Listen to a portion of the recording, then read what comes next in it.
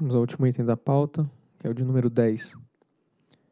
Processos 48.500.00.2688.2005.17 e 48.500.00.10.96.2001.09, que tratam da ampliação da potência instalada e da prorrogação da concessão referente à usina hidrelétrica Curuaúna, otorgada às centrais elétricas do norte do Brasil, Eletronorte. O relator diretor André Peptoni da Nóbrega.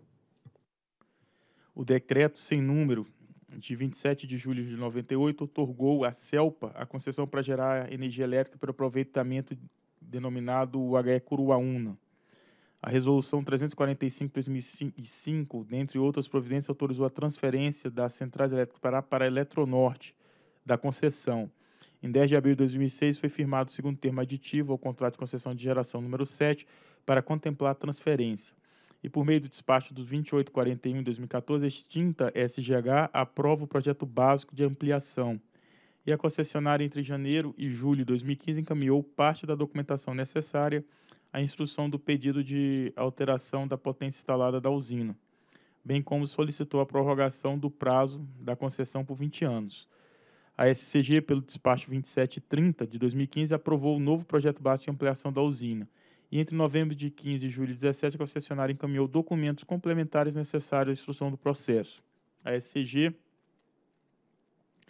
por intermédio da nota técnica 604, de 11 de agosto de 2017, analisou o processo e recomendou à diretoria da ANEL ampliar de 30 para 42 a potência selada e prorrogar a concessão da usina por 20 anos. A Eletronorte, mediante carta de 27 de setembro de 2017, questionou a SCG a respeito de eventual equívoco na conclusão da nota técnica. Na carta de 29 de setembro, manifestou o entendimento de que, tendo em vista a omissão do parágrafo 7 do artigo 26 da Lei 9427, referente ao início da contagem do prazo de 20 anos, a Eletronorte entende que o início da prorrogação deve ser a partir do primeiro dia subsequente ao término do prazo da concessão, ou seja, 2028. Por meio da nota técnica 848, de 23 de novembro, a SCG examinou os argumentos da concessionária e manteve a conclusão da nota técnica 604. E na 48ª sessão de sorteio público ordinário de 2017, foi realizada em 4 de dezembro, o processo foi distribuído a essa relatoria.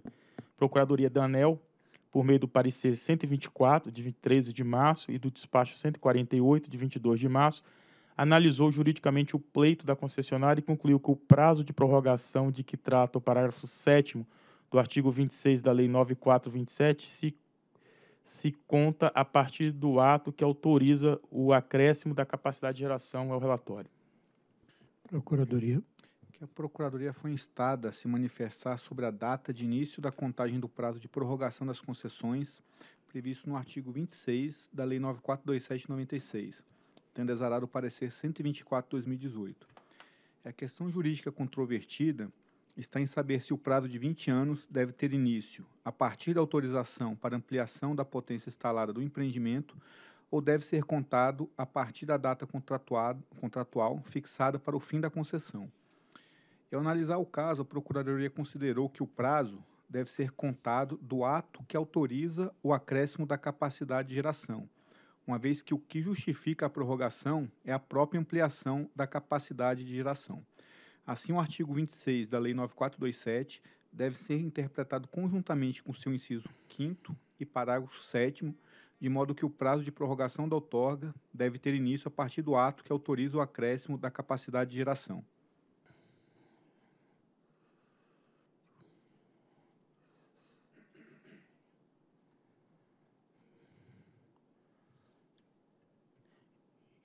Então, conforme observado pela SCG, a Eletronorte detém a concessão para explorar a usina de Curuaúna com 30,3 MW de potência instalada. A extinta SGH aprovou o projeto básico de ampliação para 41,9 MW de potência instalada. O agente, contudo, apresentou o novo projeto básico alterando a potência para 42,8 MW, aprovado pela SCG em 2015 por meio do despacho 2730. O projeto de ampliação da usina de Curuaúna, aprovado, preserva as unidades geradoras existentes, duas de 10 e uma de 10 e 300, insere uma unidade geradora de 12,5 megas de potência instalada. A SCG ressaltou que, conforme informado pela Eletronorte, no projeto básico de ampliação, desde a implantação da OHE Curuaúna, havia previsão de instalar a quarta unidade geradora. A superintendência atestou que a entrada em operação da quarta unidade geradora estava prevista para até 16 de novembro de 2020 e que a Eletronorte apresentara licença ambiental de instalação, informação de acesso e outorga de uso de recurso hídrico válido e compatíveis com o projeto básico aprovado. Na nota técnica, a superintendência afirmou que não foram encontrados registros de inadimplências em nome das interessadas ou dos integrantes de sua cadeia societária no sistema de controle das áreas de fiscalização da ANEL. E diante disso, a SCG concluiu que a Eletronorte reuniu as condições necessárias para ampliar a potência da usina de Curuaúna. Agora, sobre a prorrogação da concessão, a Procuradoria, conforme bem pontuou o doutor Escalante, observou que a cláusula segunda do segundo termo aditivo ao contrato de concessão de geração 181 mantinha o prazo final da concessão para 27 de julho de 28. Sob o pedido de prorrogação da usina, a SCG, na nota técnica 604, recomendou a prorrogação nos termos do parágrafo 7 do artigo 26 da Lei 9427 por 20 anos, a contar da data de autorização para ampliar a potência instalada, condicionada à entrada em operação da ampliação. A superintendência se baseou no parecer 353, que analisou quanto às prorrogações de concessão deveriam ser regidas pelo artigo 26 do 9427 ou pela Lei 12783 de 2013. A Eletronorte, discordando desse entendimento, solicitou que os 20 anos de, da prorrogação fossem contados a partir da data contratual estipulada para o fim da concessão, julho de 28. A SCG refutou tal entendimento, afirmando que a recomendação da SCG consubstanciada na nota técnica 604, segue entendimento já adotado por este colegiado no caso da prorrogação de concessão da usina Celso Ramos. A usina Celso Ramos, da mesma forma que a Algaia Coraúna, pleiteou a prorrogação da concessão nos termos do artigo 26 da 9427. O encaminhamento da, da diretoria está alinhado ao que se adota no caso de outorga nova. Então, o Estado a se manifestar, a Procuradoria observou que o parágrafo 2 do artigo 1 do Decreto 915817 estipula que os 30 anos de prorrogação se contam a partir do primeiro dia subsequente ao do término do prazo de concessão ou da autorização.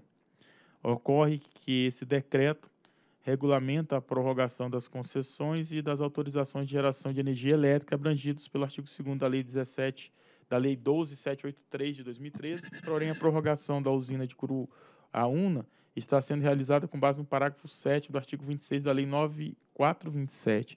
E dessa forma, segundo a Procuradoria, as disposições do regulamento referido, portanto, não se aplicam diretamente ao caso em análise. A Eletronorte, entretanto, argumentou que o parágrafo 7 do artigo 26 da 9427-96 era omisso em relação ao início da contagem do prazo de prorrogação, razão pela qual seria possível aplicar, por analogia, o decreto 9158. A esse respeito, a, Procuradoria esclarece que a analogia jurídica consiste em um processo no qual se aplica a uma situação não prevista em lei norma que regula um evento semelhante. E note-se que, embora o dispositivo não diga expressamente que o prazo de prorrogação da concessão começa a contar do ato que autoriza o acréscimo de capacidade de geração, isso está implícito no texto legal. É que a prorrogação referida, conforme o caput do artigo 26, seu inciso 5, parágrafo 7 lidos em conjunto, está atrelada à autorização do crescimento da capacidade de geração para alcance do aproveitamento ótimo do empreendimento.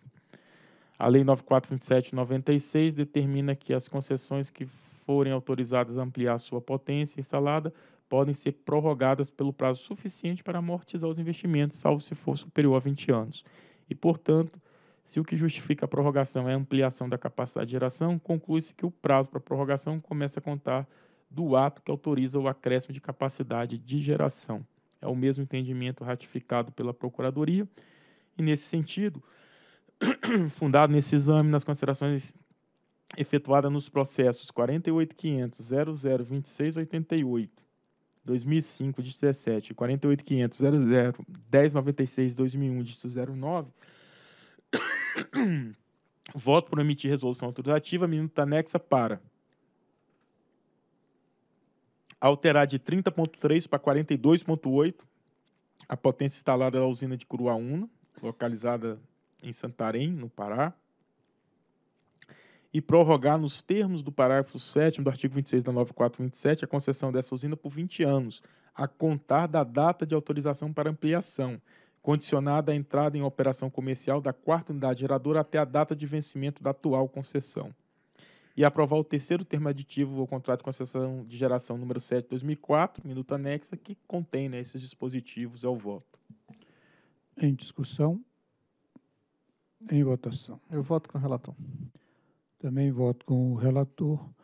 Proclamo, então, que a diretoria decidiu por alterar de 30.300 kW para 42.800 a potência instalada da usina hidrelétrica UHE Curuaúna, localizada no município de Santarém, estado do Pará, otorgada à Eletronorte sob regime de serviço público de energia elétrica, regulada pelo contrato de concessão de geração número 7, 2004 também por prorrogar, nos termos do parágrafo 7 do artigo 26 da Lei 9.427, de 96, a concessão dessa usina por 20 anos, a contar da data de autorização para ampliação, condicionada à entrada em operação comercial da quarta unidade geradora até a data de vencimento da atual concessão.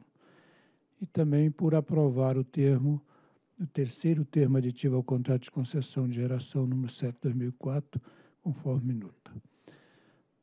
Esse, então, era o último item da nossa reunião pública ordinária, portanto, declaro encerrada essa 14ª reunião pública. Um bom almoço a todos.